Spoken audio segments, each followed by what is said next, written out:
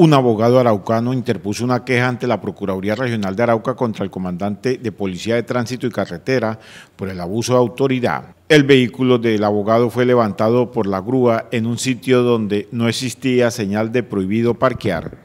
En el día de ayer se radicó una queja disciplinaria en contra del comandante de policía de tránsito y simultáneamente contra el director del Instituto de Tránsito y Transporte de Arauca.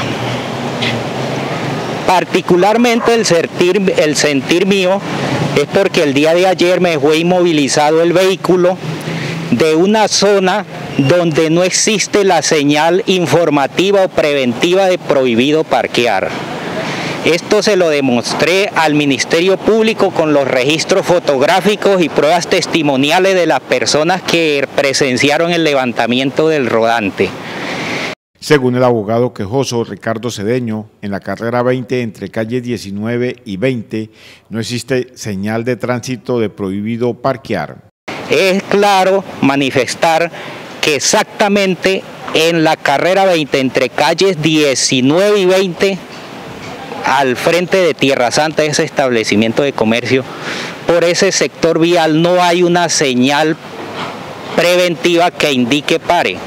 Esas señales preventivas tienen una finalidad estatal y es indicarle o advertirle al transeúnte que ahí no se puede parquear, dónde se puede y dónde no se puede parquear. Y lamentablemente en ese sector no está esa señal de pare y las autoridades de tránsito están levantando vehículos y los están inmovilizando de ese sector sin que exista esa señal de pare. Para el abogado Cedeño, los policías de tránsito estarían extramilitándose por el levantamiento de los vehículos que están parqueados.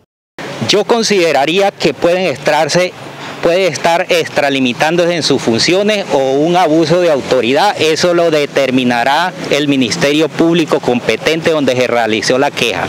Y es más, hoy la voy a, ampliar. Hoy la voy a ampliar porque nosotros tenemos una veeduría de movilidad de tránsito, constituida desde el año pasado. La, comunidad nos solicitó a mí y al doctor Carrillo, que es un abogado colega mío, que les ayudáramos a constituir una veeduría de movilidad de tránsito y así lo hicimos.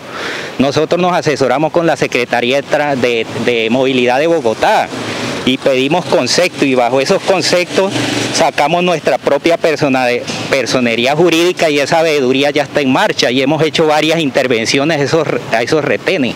Otra de las situaciones que preocupa es que la comunidad viene denunciando que al parecer la policía de tránsito tiene una persecución contra los motociclistas.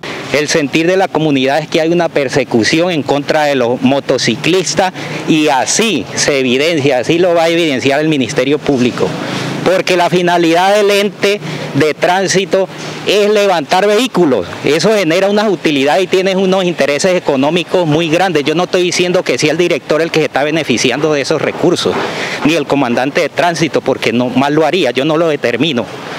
Pero eso se evidencia, son 87 mil que se paga de grúa.